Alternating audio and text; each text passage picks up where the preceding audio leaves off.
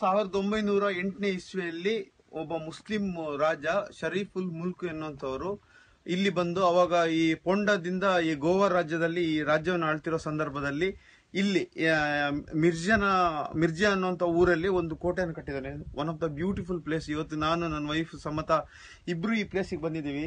ತುಂಬ ಖುಷಿ ಆಯ್ತು. ಈ ವಿಡಿಯೋನ ನಿಮ್ಗೆ ಕಳಿಸ್ಬೇಕಂತ ನಾನು ಕಳಿಸ್ತಾ ಇದ್ದೀನಿ. ನೋಡಿ, ತುಂಬ ಬ್ಯೂಟಿಫುಲ್ ಆಗಿದೆ. ಇದು ಇಡೀ ಇಡೀ ನಾ ಮಿರ್ಜಾನ ಕೋಟೆಯ ಫುಲ್ಲು ಚಿತ್ರಣವನ್ನು ನಾನು ನಿಮಗೆ ಕೊಡಕ್ಕೆ ಇಷ್ಟಪಡ್ತೀನಿ. ಯಾಕಂದರೆ ಯಾಕಂದ್ರೆ ನೀವು ಫ್ಯೂಚರಲ್ಲಿ ನಿಮ್ಮ ಫ್ಯಾಮಿಲಿ ಜೊತೆಗೆ ಬಂದು ಇಂಥ ಬ್ಯೂಟಿಫುಲ್ ಒಂದು ಸ್ಪಾಟನ್ನು ನೀವು ವೀಕ್ಷಣೆ ಮಾಡಬೇಕು ಅಂತ.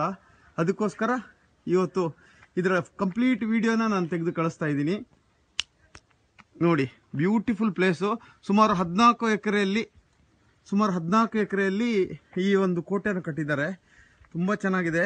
ಈಗ ಪಳೆಯುಳಿಕೆ ಸ್ಟೇಜಲ್ಲಿದೆ. ಯಾಕಂದರೆ ಇದು ಮೇಂಟೆನೆನ್ಸ್ ಮಾಡಿಲ್ಲ ಗೌರ್ಮೆಂಟ್ ಅವರು. ಹಾಗಾಗಿ ಮೇಂಟೆನೆನ್ಸ್ ಇಲ್ಲಿ ಇಲ್ಲದೆ ಇರೋದ್ರಿಂದ ಇದು ಒಂಥರ ಪಾಳು ಬಿದ್ದ ಬಂಗ್ಲೆ ಥರ ಆಗೋಗಿದೆ. Anyway one of the beautiful place ಅಂತ ಹೇಳ್ಬೋದು.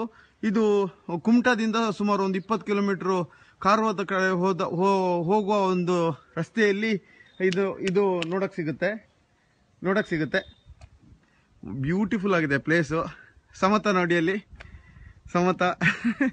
ಚೆನ್ನಾಗಿದೆ ಅಲ್ವಾ ನೀವು ನೆಕ್ಸ್ಟ್ ನಿಮ್ಮ ಫ್ಯಾಮಿಲಿನ ಕರ್ಕೊಂಬಂದು ನಾವಂತೂ ತುಂಬ ಚೆಂದ ಎಂಜಾಯ್ ಮಾಡ್ತಾ ಇದೀವಿ ಇಲ್ಲಿ.